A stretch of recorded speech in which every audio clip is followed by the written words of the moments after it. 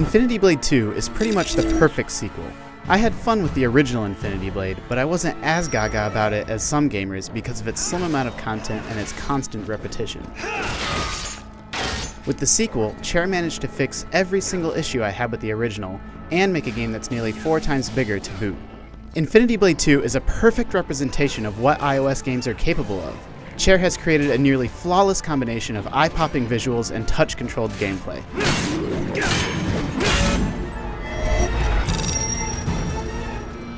Worker, I will free you. Infinity Blade 2's story is now voice acted and filled with lots of twists and turns.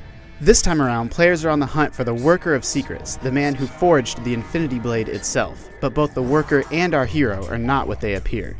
Flashy graphical details like real-time shadows and particle effects help make Infinity Blade 2 the best looking game on the App Store. But the truth is that the game's entire presentation is a step above other studios. The game's menus have been redesigned to be cleaner and are much easier to navigate. Gone are the days of sifting through dozens of weapons just to find that one sword you're looking for.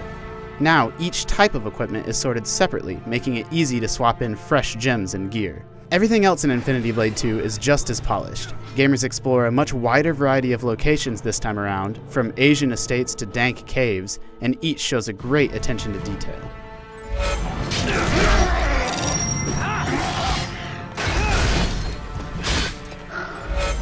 Infinity Blade 1's cinematic melee combat system makes a return for the sequel, but with much more depth. Players now have three unique weapon styles to choose from the original sword and shield setup, and two new weapon types. Equipping a heavy weapon allows for powerful critical hits by swiping the touchscreen in specific directions, and replaces the dodge buttons with a new directional blocking system. But I opted to spend most of my time dual wielding. When holding two swords, players lose all ability to block, but can dish out incredible damage in a flurry of stabs and combos. Enemies have also been given more depth. Their attack patterns are more dynamic and harder to predict, and several brand new types of enemies have been introduced. All of this comes together to create a game with much more depth and much less repetition than the original. The icing on this violent, delicious cake is the sheer amount of content Chair has managed to cram in.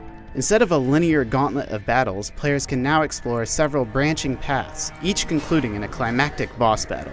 Defeating the final boss will take gamers 5 or 6 hours compared to the 1 hour it took to see everything the original had to offer.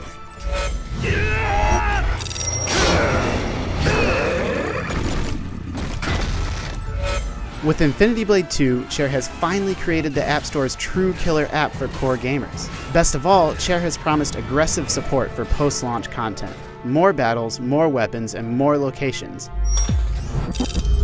I can't wait to see what else the studio has in store. For more on Infinity Blade 2, keep it locked to IGN.com.